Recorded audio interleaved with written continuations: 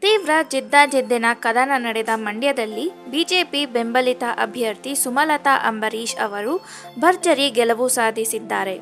ಈ ಬಗ್ಗೆ ಚುನಾವಣಾ ಆಯೋಗದ ಅಧಿಕೃತ ಘೋಷಣೆಯೊಂದೇ ಬಾಕಿ ಉಳಿದಿದೆ. ಪಕ್ಷೇತರ ಅಭ್ಯರ್ಥಿಯಾಗಿ ಸ್ಪರ್ಧಿಸಿದ್ದ ಸುಮಲತಾ ಅಂಬರೀಶ್ ಅವರಿಗೆ ಬಿಜೆಪಿ ಬೆಂಬಲ ನೀಡಿತ್ತು. ಜೊತೆಗೆ ಕಾಂಗ್ರೆಸ್ನ ಅತೃಪ್ತ ಮುಖಂಡರು ತೆರೆಮರೆಯಲ್ಲಿ ಬೆಂಬಲ ನೀಡಿದ್ದರು. ಜೆಡಿಎಸ್ನ ಎಂಟು ಶಾಸಕರು, ಮೂರು ಸಚಿವರು ಮತ್ತು ಮೂವರು ವಿಧಾನ ಪರಿಷತ್ ಸದಸ್ಯರು ಇರುವ ಮಂಡ್ಯದಲ್ಲಿ ಜೆಡಿಎಸ್ ಅಭ್ಯರ್ಥಿ ನಿಖಿಲ್ ಕುಮಾರಸ್ವಾಮಿ ಅವರು ಗೆಲುವು ಸಾಧಿಸುತ್ತಾರೆ ಎಂದೇ ಭಾವಿಸಲಾಗಿತ್ತು. ಇದು ಮುಖ್ಯವಾಗಿ ಮುಖ್ಯಮಂತ್ರಿ ಎಚ್ ಡಿ ಕುಮಾರಸ್ವಾಮಿ ಅವರಿಗೆ ಪ್ರತಿಷ್ಠೆಯ ಪ್ರಶ್ನೆಯಾಗಿತ್ತು. ಆದರೆ ಜೆಡಿಎಸ್ನ ಎಲ್ಲ ನಿರೀಕ್ಷೆಗಳನ್ನು ಹುಸಿಗೊಳಿಸಿ ಸುಮಲತಾ ಅಂಬರೀಶ್ ಅವರು ಅಲ್ಲಿ ಭರ್ಜರಿ ಗೆಲುವು ಸಾಧಿಸಿದ್ದಾರೆ.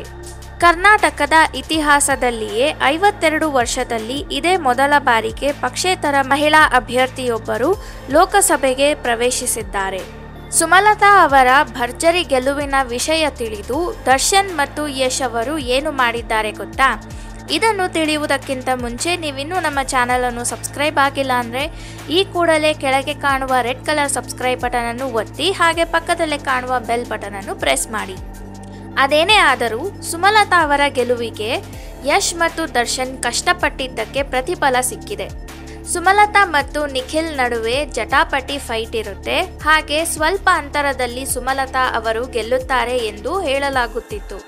ಆದರೆ ಇಷ್ಟು ಮಟ್ಟದ ಭರ್ಜರಿ ಗೆಲುವು ಸಾಧಿಸಲು ದರ್ಶನ್ ಮತ್ತು ಯಶ್ ಅವರ ಶ್ರಮ ಇದೆ ಎಂದು ಮರೆಯೋದಕ್ಕೆ ಆಗೋದಿಲ್ಲ ಸುಮಲತಾ ಅವರ ಗೆಲುವು ಖಚಿತ ಆಗುತ್ತಿದ್ದಂತೆ ದರ್ಶನ್ ಮತ್ತು ಯಶ್ ಮಂಡ್ಯ ಕಡೆಗೆ ಹೊರಟಿದ್ದು, ಅಭೂತಪೂರ್ವ ಗೆಲುವು ತಂದುಕೊಟ್ಟ ಮಂಡ್ಯದ ಜನತೆಗೆ ಕೃತಜ್ಞತೆ ಸಲ್ಲಿಸಲು ಹೊರಟಿದ್ದಾರೆ. ಈ ವಿಡಿಯೋ ನಿಮಗಿಷ್ಟವಾದಲ್ಲಿ ಲೈಕ್ ಮಾಡಿ, ಶೇರ್ ಮಾಡಿ, ಹಾಗೆ ನಮ್ಮ ಚಾನಲನ್ನು ಸಬ್ಸ್ಕ್ರೈಬ್ ಮಾಡುವುದನ್ನು ಮರೆಯದಿರಿ. ಧನ್ಯವಾದಗಳು.